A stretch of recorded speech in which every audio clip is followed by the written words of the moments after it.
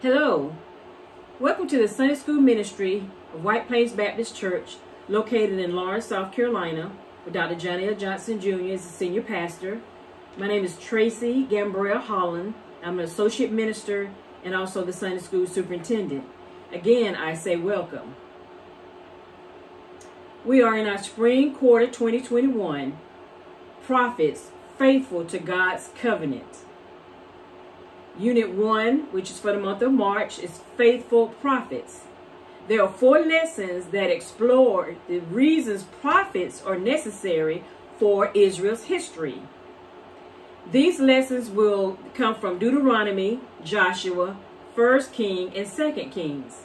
Today's lesson is focused on Elijah, a man who was used by God to confront one of Israel's most wicked kings, King Ahab, and his ruthless wife, Jezebel.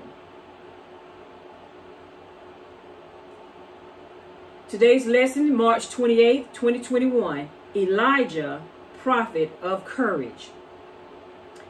Elijah proclaimed the word of the Lord during one of the most critical periods of Old Testament history. And Elijah's story begins in 1 Kings chapter 17. There's no background given on Elijah's birth or his family, only that he is a Tishbite and of the inhabitants of Gilead. Elijah's name means the Lord is my God.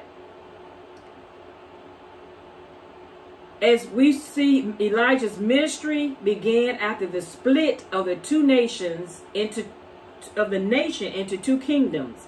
It was under one nation under King Saul, under King David, and under King Solomon. But after the death of Solomon, it split into two kingdoms. The northern kingdom, which is Israel, that included 10 tribes, and the southern kingdom, which is Judah, Judea, uh, Judah, which included two tribes. So here when we begin chapter 17, it said, keep Elijah in chapter 1 of chap, uh, correct, chapter 17, verse 1, Elijah tells King Ahab, As the Lord God of Israel lives, before whom I stand, there shall not be dew nor rain these years except at my word.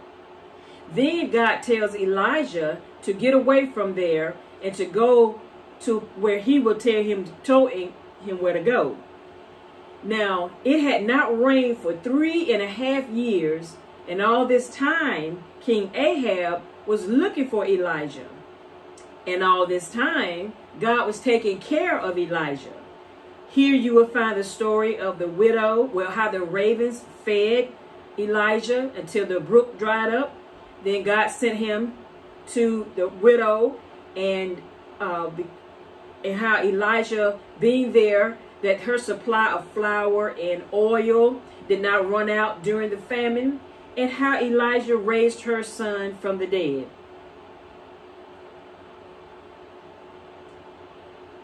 Our Bible background is coming from 1 Kings chapters 18 through and 19 and Matthew verse chapter 17 verse 1 through 3.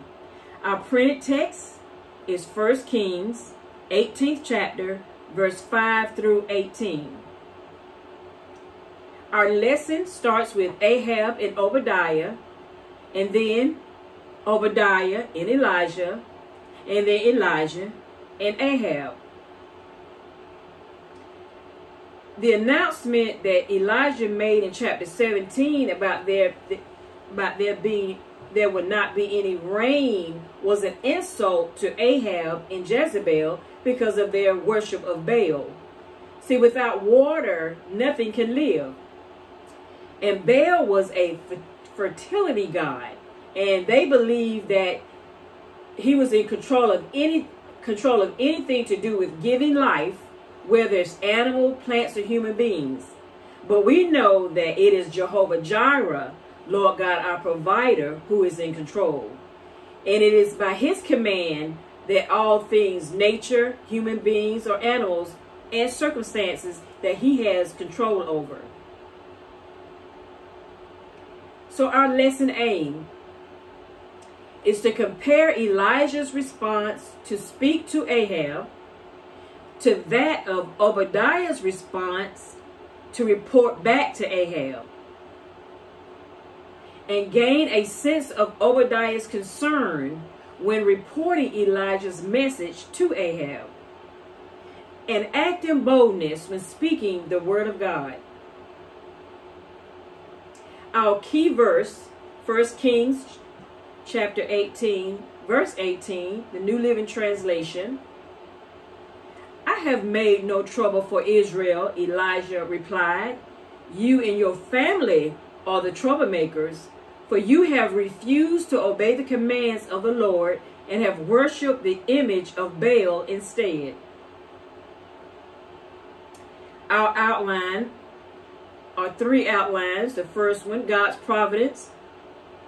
First Kings chapter 18, verse 5 through 8. God's servant, Obadiah, verses 9 through 16. And God's prophet, Elijah, verse 17 and 18. In our first outline, God's providence, First Kings 18 verses 5 through 8. So here we start with a conversation between Eli, between King Ahab and Obadiah. And because we know that God is in control, that this the God's providence of Elijah and Obadiah meeting did not happen haphazardly. So Obadiah and Elijah did not meet by coincidence. They met by God's purpose. So God is in control, and this is God's timely preparation for future events while providing protective and spiritual care. You see, Obadiah was with King Ahab, and King, this the two of them went out to under the directive of Ahab to go find some grass and some water for the animals. So King Ahab went one way and Obadiah went another way. But it didn't happen by coincidence. So this text starts out talking about Ahab telling Obadiah to find some water and grass for his horses. Note that he had no concern about the people because he knew that horses uh, without horses, a king could not protect his kingdom. So you see, it was all about Ahab. It was all about himself. So Ahab was the epitome of evil and often referred to as the king that made Israel sin because he led them to worship the idol Baal. The Bible describes Ahab as the king that did more to provoke the Lord God of Israel to anger than all the kings of Israel before him. So you see, when God has intervened and God is making things happen, Obadiah and Elijah were traveling down the same path. So what do you do when you know that God has put someone in your path? Eli, God's servant Obadiah, verses 9 through 16. So Obadiah here in today's lesson is not the author of the book of Obadiah. These are two different people. In verse 3 of chapter 18, it says that Obadiah was a devout believer in the Lord. And he worked in the king, he worked in King Ahab's administration as a governor, a mayor, or he was a top official he was in charge of Abraham, Ahab's property or his household. So Ab- Obadiah feared the Lord, and he had done so since his youth. Fear of the Lord is a sign of wisdom. Obadiah's name means servant of the Lord.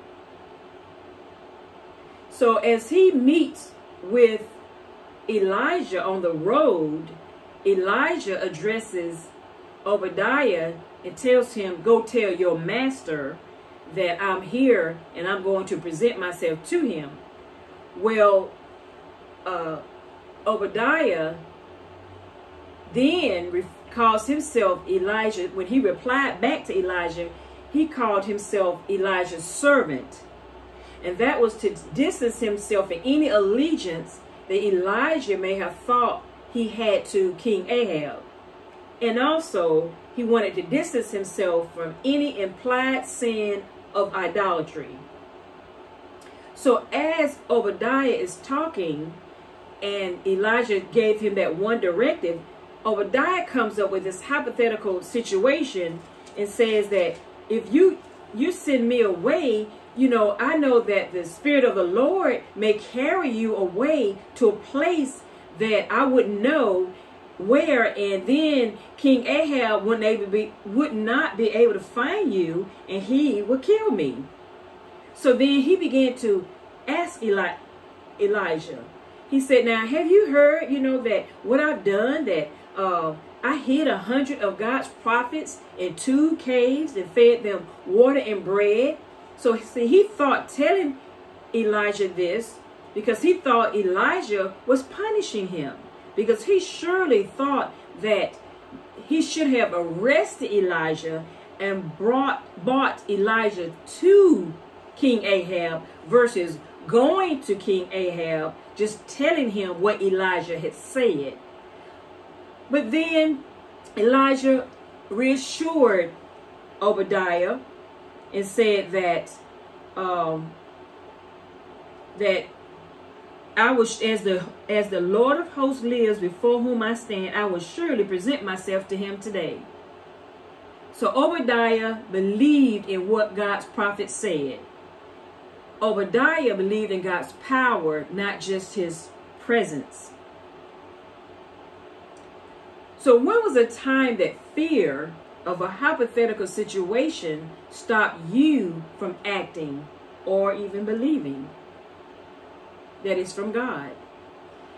Our third point, God's prophet Elijah, verse 17 and 18. So when Elijah did meet with King Ahab, the first thing King Ahab said was, uh, he said, Is that you, O troubler of Israel? But you know, Elijah didn't back down in the face of Ahab's anger. He threw Ahab's accusations back at him, telling him that it was him, he and his fathers and his father's family were the real troublemakers. See, the famine had come because of the idolatrous practices that had been encouraged by Ahab's father. Ahab furthered those practices of promoting the worship to Baal with the support, of course, of his wife Jezebel. So Elijah's courage demonstrates his confidence in the Lord Almighty. So Elijah knew that he nor the drought was the source of Israel's problem, but it was Ahab's and Israel's breaking of the covenant. See, any true prophet of the Lord would trouble people when he or she confronts them with the truth about their sinfulness and their need to repent. So again, I ask you to encourage you to read chapters 18 and 19 to learn of the victory Elijah had on Mount Carmel. So, when condemned or mocked for following God's word, how should you respond? Or how do you respond? So, wrapping up our spring quarter for 2021, prophets faithful to God's covenant.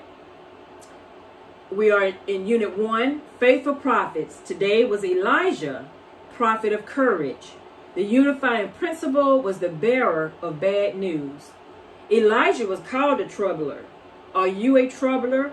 One who stands on the word of God even when those around you stand against you or it's not popular for you to stand on the word of God?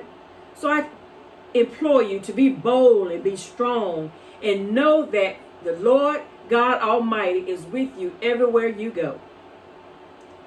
And remember, healthy things grow and growing things change. Are you growing and becoming more mature in the Word of God? Or are you just growing old? Thank you and be blessed.